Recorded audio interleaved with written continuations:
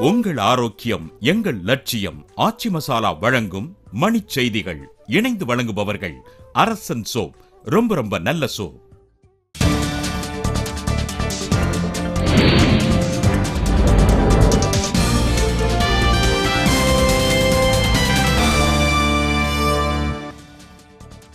தமிழகத்தின் கடலோர மாவட்டங்களில் அடுத்த இரண்டு நாட்களுக்கு கனமழை வானிலை ஆய்வு நடுவம் எச்சரிக்கை.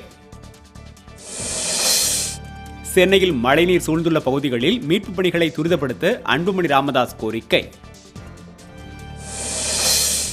ஜெயலலிதா மரணம் தொடர்பான விசாரணை ஆணையத்திற்கு தடை கோரி தொடரப்பட்ட வழக்கு உச்சநீதிமன்றத்தில் தள்ளுபடி. சென்னைக்கு குடிநீர் வழங்கும் ஏரிகள் எதுவும் முழு கொள்ளளவை எட்டவில்லை என திருவள்ளூர் ஆட்சியர் சுந்தரவள்ளி தகவல்.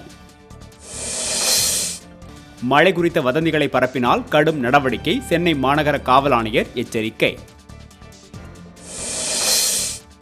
தாம்பரத்தை அடுத்த முடிச்சூரில் மீட்பு பணிகளை துரிதப்படுத்த கோரி மழைநீரில் அமர்ந்து பொதுமக்கள் போராட்டம்.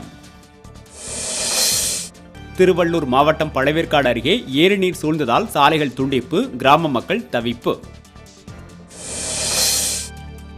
தொடர் மழையால் ஏற்பட்டுள்ள பாதிப்புகள் குறித்து அமைச்சர்களுடன் முதலமைச்சர் எடப்பாடி பழனிசாமி ஆலோசனை. கொடுங்கையூரில் மின்சாரம் தாக்கி உயிரிழந்த சிறுமிகளின் குடும்பத்தினருக்கு பத்து லட்சம் ரூபாய் இழப்பீடு வழங்க உயர்நீதிமன்றம் ஆணை. இலங்கையில் தமிழர்கள் பாதுகாப்பாக வாழும் சூழல் இன்னும் ஏற்படவில்லை என ஆனந்தி சசிதரன் கருத்து. உங்கள் ஆரோக்கியம் எங்கள் லட்சியம் ஆச்சி மசாலா வழங்கிய மணிச் செய்திகள் இணைந்து வழங்கியவர்கள் அரசன் சோப் ரொம்ப ரொம்ப நல்ல சோப்.